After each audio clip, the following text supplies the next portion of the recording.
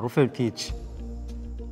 For the roof, you can use either the same sheeting as the walls such as corrugated, 762 or IBR.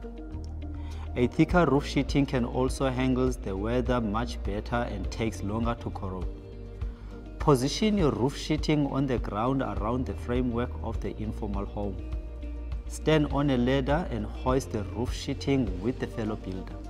Once sheeting is positioned, ensure that you overlap the sheets with the lip facing down over the lip facing up and screw in through the top of the crest. This will make sure the roof is leak proof.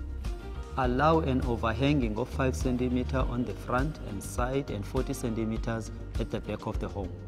This allows the rain to run off far away from the back of the panel. When the timber framework is assembled with the correct size panel, you will find that the roof pitch will end up being 7 degrees, which is the recommended angle for the rain and wind. And you can work out the angle on bigger homes with with a simple formula in the toolkit. Finally, we secure flashing to all the exterior corners. This seals it off from the wind and rain and finishes off the home properly. It also seals all the gaps to prevent fires from spreading easily. Here is how a completed home will look. If you build according to the toolkit, you will make a good informal home that will last long and save you money in the long run.